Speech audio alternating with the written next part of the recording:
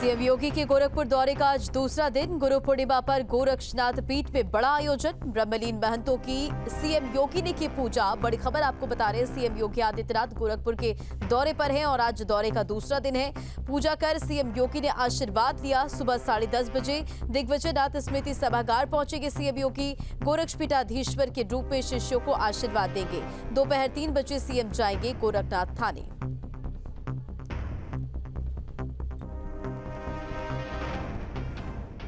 गुरु पूर्णिमा पर गोरक्षनाथ पीठ में बड़ा आयोजन। ब्रह्मलीन महंतों की सीएम योगी ने पूजा अर्चना की। कई कार्यक्रम जिसमें शामिल होंगे योगी।